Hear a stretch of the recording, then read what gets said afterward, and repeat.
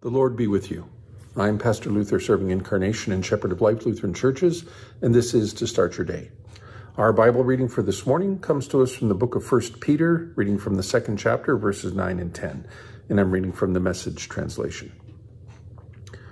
But you are the ones chosen by God, chosen for the high calling of priestly work, chosen to be a holy people, God's instruments to do his work and speak out for him to tell others of the night and day difference he made for you, from nothing to something, from rejected to accepted.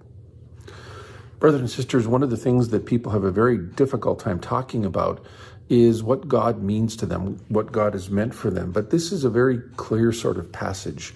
What difference has God made in your life? If God were absent from your life, how would it be? How messed up would it be? and how wonderful it is that God is with you. Let that be something you share with the whole world today. Let's bow our heads in a word of prayer. Gracious Lord, we thank you for this new day, for opportunities that we have to serve, and we ask that you be with us and strengthen us and help us to remember that we are absolutely dependent upon you and that you have made a tremendous difference in all of our lives. In your holy name we pray. Amen.